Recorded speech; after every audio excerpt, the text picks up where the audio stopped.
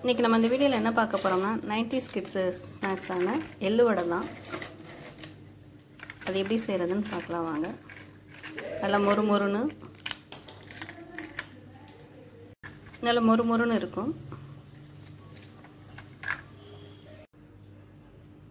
ஒரு மிக்சிங் பவுலில் ஒரு கப்பு மைதா மாவு எடுத்திருக்கேன். இந்த கப்பில் தான் நான் எடுத்திருக்கேன். அதே கப்பில் முக்கால் கப்பு சீனி அரைச்சி எடுத்திருக்கேன் அதையும் சேர்த்துக்கலாம். இது கூட ஒரு பிஞ்ச் உப்பு சேர்த்துக்கலாம். சேர்த்துட்டு தண்ணி ஊற்றி இதை சப்பாத்தி மாவு பதத்துக்கு நல்லா பிணைஞ்சு எடுத்துக்கலாம். நம்ம சீனி சேர்த்துருக்கனால தண்ணி ரொம்ப தேவைப்படாது. கொஞ்சம் கொஞ்சமாக தண்ணி ஊற்றி பிணைஞ்சு எடுத்துக்கலாம். இல்லைன்னா ரொம்ப தண்ணி ஆகிடும்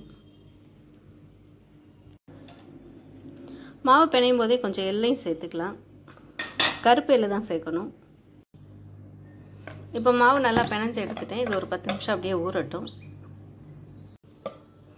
இப்போ பத்து நிமிஷம் ஆகிடுச்சு இதை சின்ன சின்ன உருண்டைகளை நம்ம உருட்டி எடுத்துக்கலாம். ஒரு சப்பாத்தி கட்டையில் மாவு தடவிக்கலாம். நம்ம உருட்டி வச்ச உருண்டை எடுத்து சப்பாத்தி மாதிரி தேய்ச்சி எடுத்துக்கலாம். எவ்வளோ நைஸாக முடியுமோ அவ்வளோ நைஸாக தேய்ச்சி எடுத்துக்கலாம்.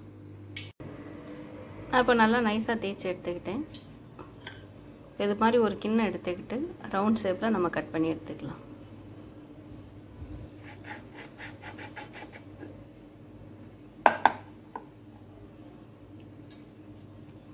இந்த மாதிரி கட் பண்ணி எடுத்துக்கலாம்.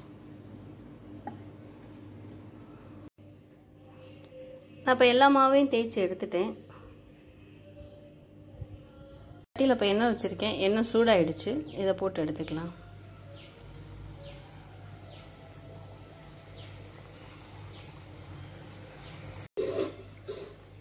இது நல்லா கோல்டன் ப்ரௌன் வந்தோடனே எடுத்துடலாம். இந்த ஸ்டேஜில் எடுத்து நம்ம வேறு ஒரு பிளேட்டில் அதை மாற்றிடலாம்